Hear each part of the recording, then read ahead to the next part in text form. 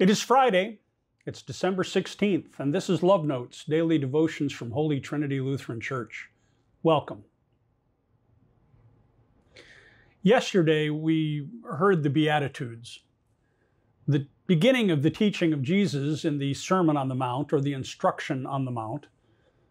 And it's teaching that was given to a rather motley group of individuals.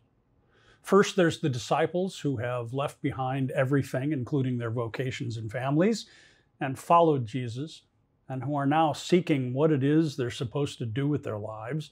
And then there are the crowds, the huge crowds who've gathered because Jesus is healing all of their illness.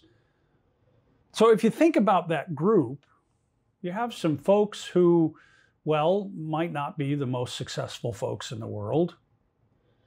The folks have come out primarily in the first place because they sought healing. They were broken. They were seeking relief in a world where there was none. They were seeking for someone to help them. They are, in fact, the mourning, the meek, the peacemaking, those who hunger for justice and righteousness, those who hunger for the kingdom of God they're all people who are seeking. And so they gather this motley crew before Jesus. And once he's told them what it is that they are, blessed and hopeful, he now turns to them and tells them what they're to do with that. We live in a secular culture, by which I mean that the church, the holiness of life, is less and less important all the time.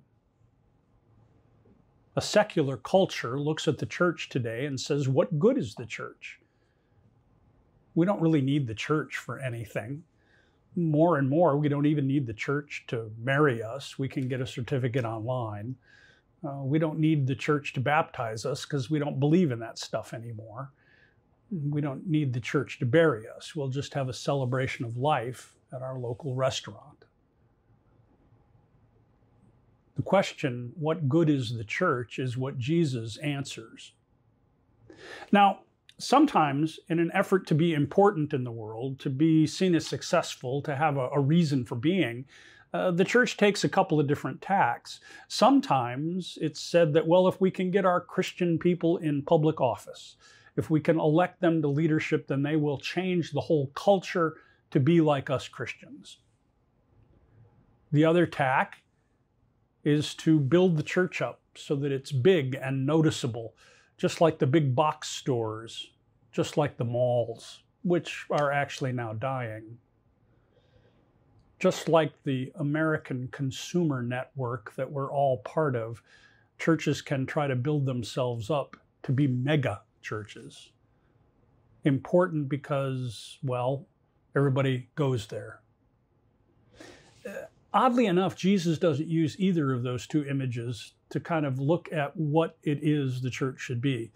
Jesus turns to this motley group of people who are not the best and the brightest, so to speak, but they're the ones who hurt the most, who are broken the most.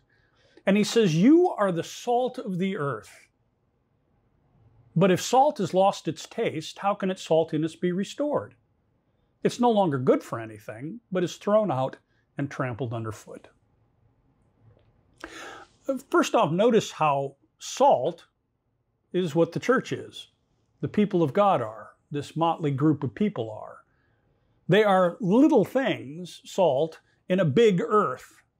When you put salt in a recipe, you don't need much for the whole thing to be flavored by the salt. It's not the size of the teaspoon of salt, but it's the effect of the salt that's what we're after.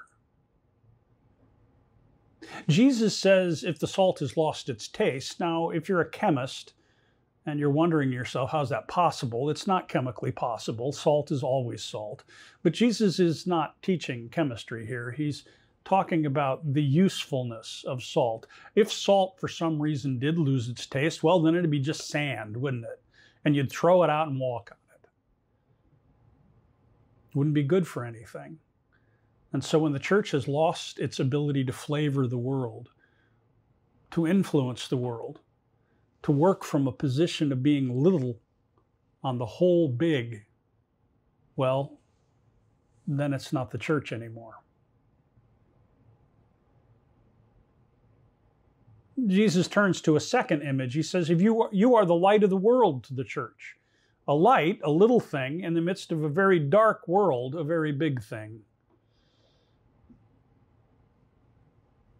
He says, A city built on a hill cannot be hid. One city in the midst of a dark world can't be hid. You see it because the lights are on at night.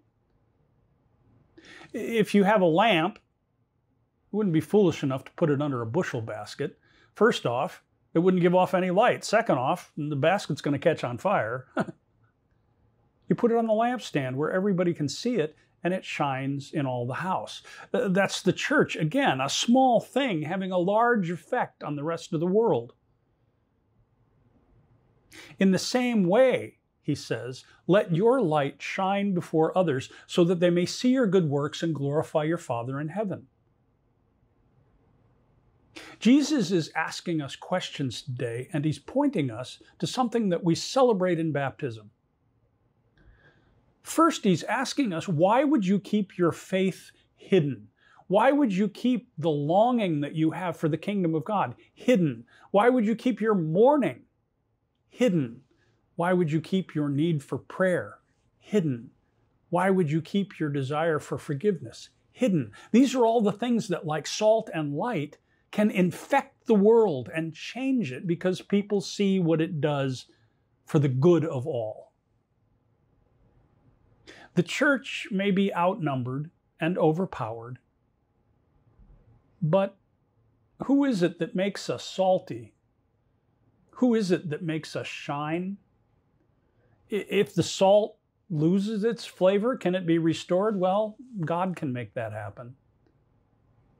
So the question here is how the people of God will take their blessedness, which they've already been told they have, and their hope for what is to come, and infect the world with it, to change everyone they meet in some small way to become more the kingdom of God.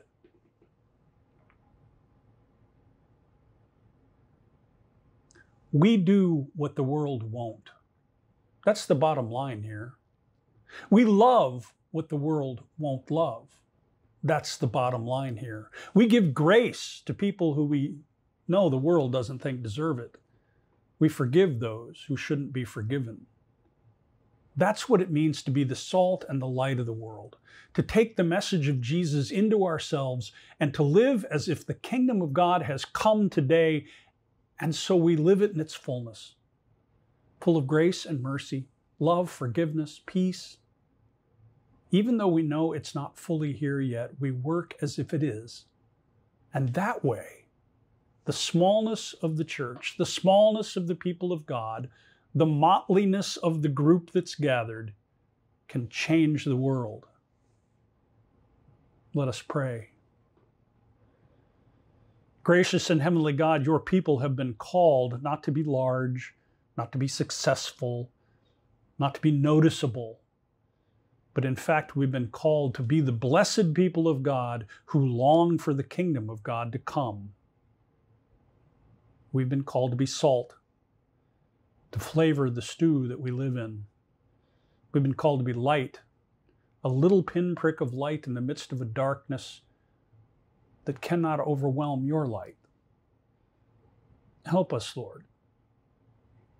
Restore our saltiness. Help us to love and to give grace when the world will not, so that the world may be changed to your will. We ask this in Jesus' name. Amen.